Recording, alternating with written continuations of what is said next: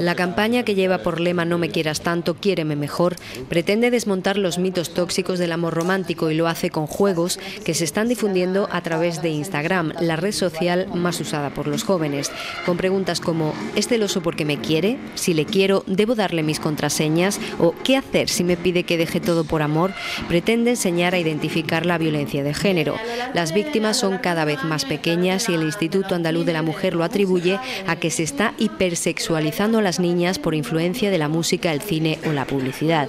Estamos celebrando los cumpleaños y las comuniones en empresas donde se dedican a vestirlas de princesa, a ponerle mascarilla, a maquillarlas y a hacerles sentirse que son mayores de lo que somos. La culpa no la tiene la juventud.